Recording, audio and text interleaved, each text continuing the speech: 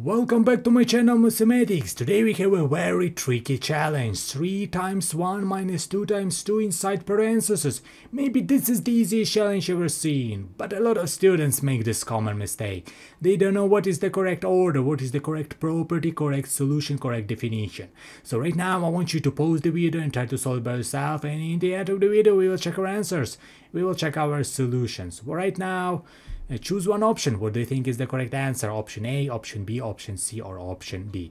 So let's solve our challenge. Here's our challenge. We have 3, inside parentheses we have 1 minus 2 times 2. Here's our challenge. As you can see, here we have multiplication, we have subtraction, sign, we have multiplication, we have a lot of math operations, right?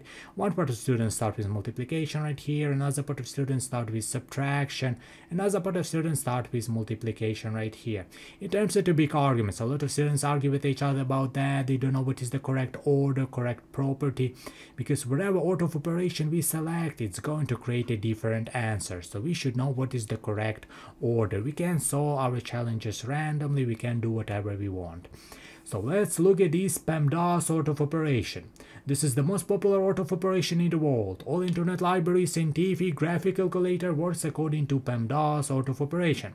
How does PEMDAS works? PEMDAS works from the top to the bottom. It means that higher position, higher priority. Parenthesis has the higher position, it means that parenthesis has the higher priority. Next is exponents, it's like 2 squared, 2 cubed, like that. Next is multiplication, division group, and last step is addition and subtraction. So let's solve our challenge according to PEMDAS. Here's our challenge, 3 times 1 minus 2 times 2. Here's our challenge. Let's get our challenge. Let's look at it. We have parentheses, right? First, we should evaluate the expression inside parentheses. We find our parentheses, this is our first step. Inside parentheses, we have multiplication, we have subtraction sign. What we should do at first? We should subtract or we should multiply. As I told before, PEMDAS works from the top to the bottom. It means that higher position, higher priority. As you can see, multiplication has the higher position than subtraction. It means that multiplication has the higher priority. Our second step is multiplication. We should multiply 2 times 2. What do we have? We have 3 inside parentheses we have 1 minus 4.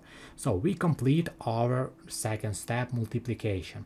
Our third step is subtraction, right? Because subtraction sign is inside parentheses. This is our third step. We should subtract. So we have 3 inside parentheses. We have 1 minus 4, which is equal to minus minus 3, right?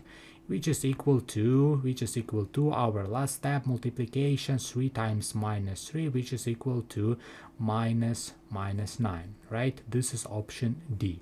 We don't have any exponents we don't have any division we don't have any addition right?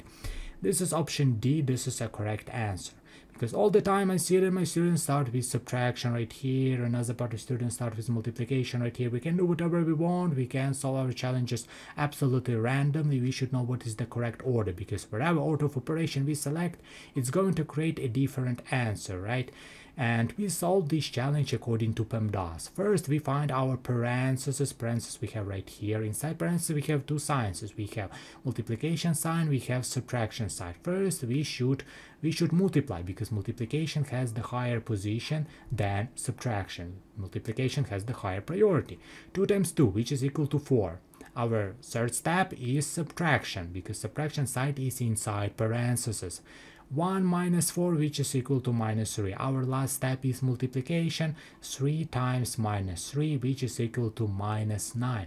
This is option D. This is a correct answer. This is a correct approach, correct solution and I hope your answer is the same as mine. I hope you learned something new but definitely don't feel bad if you got this wrong. I have a lot of videos on my YouTube channel. So thank you for your time guys. Have a great day and see you in the next videos.